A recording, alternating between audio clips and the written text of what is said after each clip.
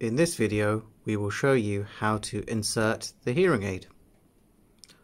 First of all you need to sit the hearing aid at the top and behind your ear.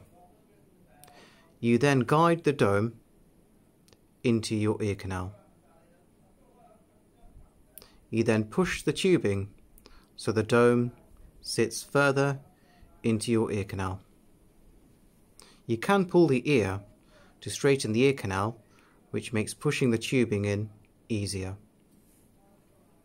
You then place the anchor into the bowl of the ear. This is how you insert a hearing aid.